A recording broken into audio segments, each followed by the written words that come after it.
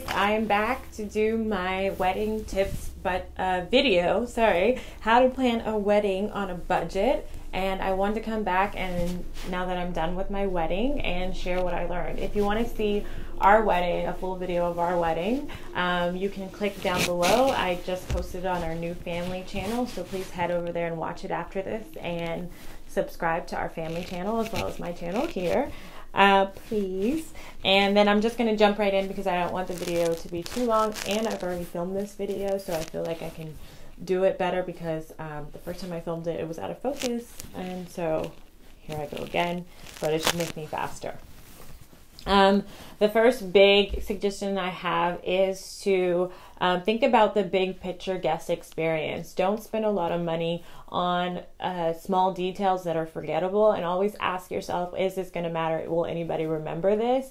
And if not, then maybe that's something you can do DIY or something you can do like buy the cheaper version of whatever that thing is. Think about big picture. Um, what is your guest experience going to be like? And the way that we did that is we focused on fun. We wanted our wedding to be really, really fun. And we had a caricature artist uh, during our cocktail hour. We had samba dancers during our reception. Um, we also um, had our music curated very um, precisely. We were saving music, thinking about music all year, and re- we both had a list that we were keeping, and then we curated each section of our wedding according to the mood that we were trying to set. Um, so and we got so much good feedback on the music, so that made it fun.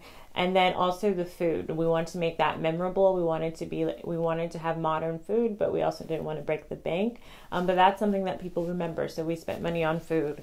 Um, I also used um, uh, certain vendors to uh, get things for cheaper. So I used GigSalad to book the samba dancers and the caricature artists, and there you can get different bids from different um, uh, service providers. You just type in what you're looking for, what type of entertainment, and then you get different people and different prices, and you can pick. I also use TaskRabbit.com to get people to help with the setup and the cleanup of the wedding, uh, in addition to our wedding planners, because I had a lot of stuff that was kind of um, going to be done that day of. So I saved a little bit of money doing doing that. And TaskRabbit is just helpful for if you need to hire somebody because um, the people compete on their prices as well. And then Fiverr, which is a similar website that you can get like your table seating or your table chart done. Somebody can do that for you for like five dollars. Um, and then we, oh, for fun, we also had a photo booth. So um, that was something that people really, really enjoyed. Uh, and then I use Amazon, Etsy, and YouPrinting a lot. So I use Amazon.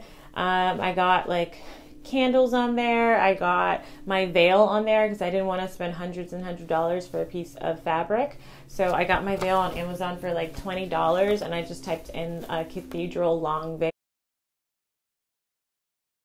veil and it had good reviews and it looked beautiful the day of and i'm so happy with that veil and i was so happy i saved money uh, Etsy, I got our wedding binder printable from, and just our wedding binder in general helped us save a lot of money because it kept us organized.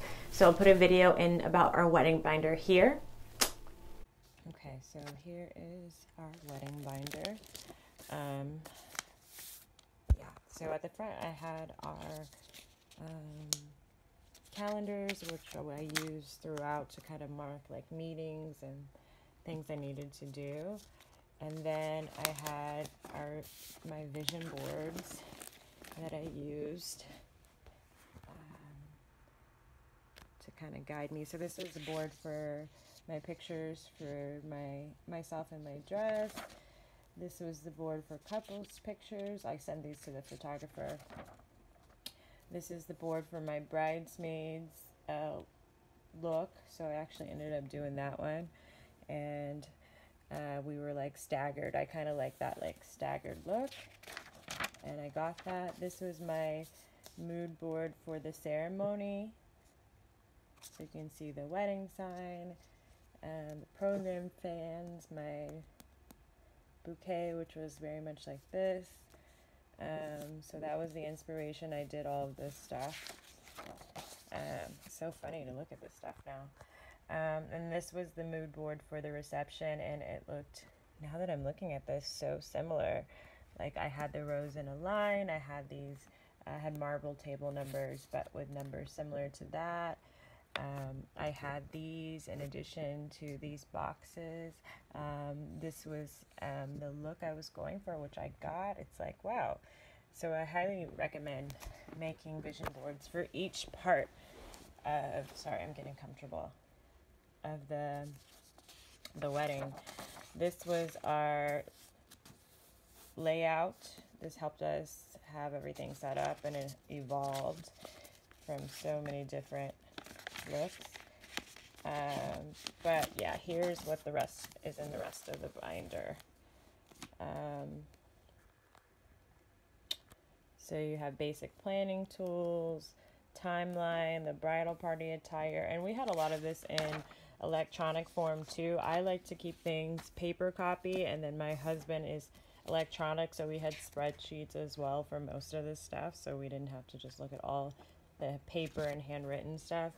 But then you can see I had my to do list, I had our budget, had our contacts, guests, uh, venue contracts, and then vendors, and then um, songs, and then like the day of stuff was at the back. So I kept all the paper contracts in here. This was so convenient and handy, especially at meetings with vendors and just keeping up with things. And uh, it's very helpful. And I got the, I made the cover myself and I got the inputs from Etsy, a store on Etsy. So you could just type in, uh, wedding binder inserts. I also used Etsy to do, I was a maid of honor and I had a binder like this to plan for my maid of honor duties and it was really helpful. Hey, Coco.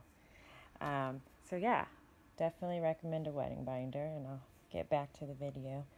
Somebody wanted to make a cameo. Aww. and I also used Etsy to get gifts for the grooms um, and we got them these um, personalized like leather bags um, with their initials on the front and on the side. And then we put inside like a, a bottle, a little small bottle of whiskey and a cigar and a cigar, cigar cutter. Um, and then I also, I got my bridesmaids gifts. Um, was a combination of things. We got them a small champagne bottle and a gift card to Sephora, which was like a nice gift. Who doesn't love Sephora? Um, but it was also because it was a gift card. Um, you could keep it in the price that you want to spend that you want to spend on each person and still get them something nice. And then I also got um, a necklace, two necklaces um, for my maid of honor, and my matron of honor.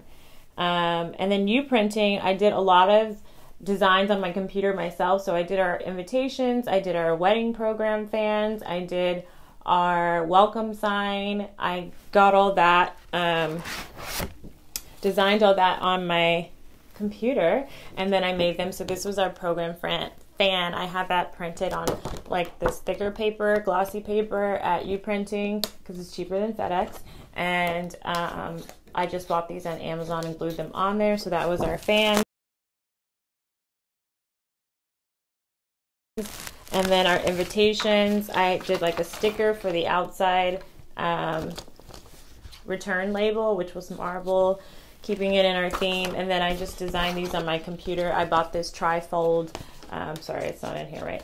So basically, I designed the sticker, YouPrinting, a little in, people opened it, designed this, glued it on there, and then the details, cards on the side. Just searched trifold envelope. I think I got these on Amazon or maybe a specialty store, can't remember. Um, and then I also, as far as DIY, did our card box. So I just got these craft card boxes, hat boxes, I think they are, or maybe they were just square boxes, and I covered them with marble contact paper, and I'll put a picture in here.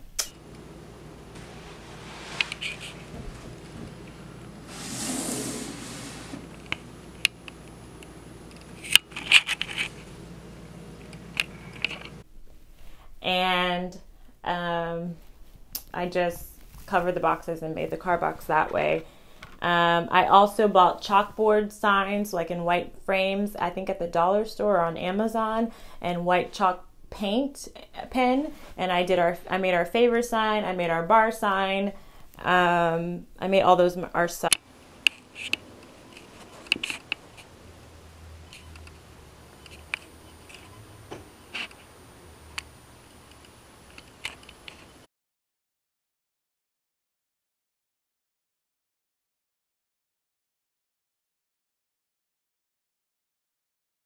Oh, let's see. And then as far as DIY, you just want to ask yourself first, you want to try one round out first by yourself. So we were going to do rose boxes, all the rose boxes at our wedding, and I'll talk about our florist in just a second. Um, and then we we did one box, filling them with roses, and we decided. My husband was like, "No, we're not doing this. Mm-mm, we're gonna hire a florist," and so we did. So I, for the florist, she did the reception tables. I provided her with the boxes because I already had them, and it would save us a little money rather than renting them because I bought them wholesale. And then I also um, for our wedding party flowers, like the corsages and the boutonnieres and all that stuff, I got those from Costco.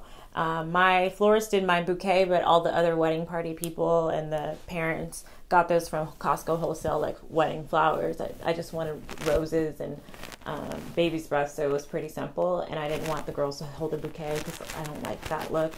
Um, so they had corsages, and it, it's that, that's one of those things that people aren't going to notice or remember. So uh, whatever was the cheapest, and it was cheaper than the florist doing them. I also bought the rose petals instead of getting them from the florist from Costco because they were way cheaper. Um, white rose petals, real, and they deliver them to you like a couple days before, and it works out fine. Then I would say, um, talking fast, I'm like running out of breath.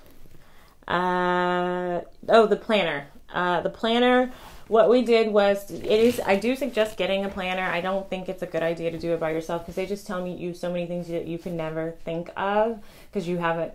Well, maybe have been married, but I, you know, most of us watching this for the first time are getting married for the first time. So, um, they just tell you, help you with things that you don't think of. So I do suggest getting one. But the way we did it to save money was we got a package where they came in the first three months. She came in, she helped us get everything with the venue set up, all the vendors and contracts set, and she helped us like find things.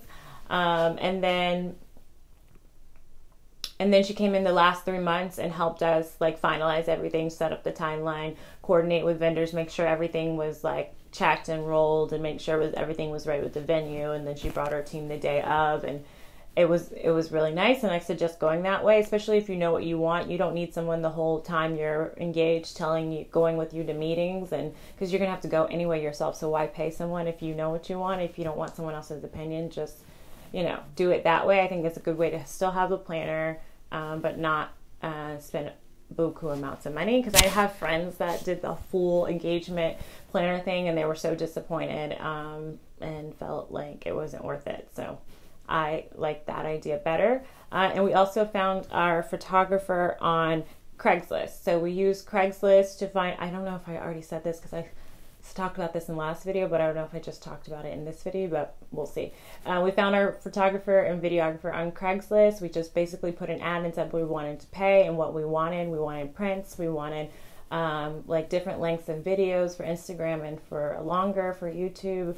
We also wanted um, a certain amount of hours the day of and an assistant uh, to the two of them. So um, that's what we asked for and that's what we got.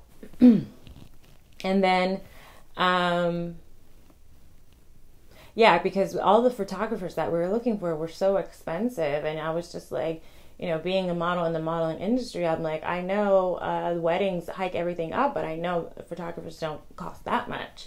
Um, and so I was um, searching around, and I got the idea, I think, from watching a uh, YouTube video. Yeah, watch a lot of YouTube videos because um, there's girls that have been through it before, and you can just learn things from other people. Um, and anyway, so I learned that and I did it, and I'm glad we did because we got a really, really good deal. Um, and they were amazing. Like you can see if you follow me on Instagram, underscore Tiffany Shelton, our photographers and videographer did such a good job. We get so many compliments on the video that's posted, so you guys should check it out. Um, it's in the link below. I posted our full wedding video on our family YouTube channel, so please subscribe. And yeah. Oh, and I also did my own makeup. So I did my own makeup because I don't want to hire a makeup artist because I know how to do my makeup and I actually usually don't like it when other people do my makeup. I have to tweak it, so I might as well just do it myself and saved a lot of money there. Um, so those are my wedding tips. Congratulations. I'm going to end it quickly because I don't want it to be too long, but happy saving. Be present. I hope you have moments of stillness and peace to take it all in because that's important as well, just to be mindful and so it doesn't go by fast. Mine, I felt like we really got to savor and have fun with our guest. And um, yeah, congratulations. Namaste.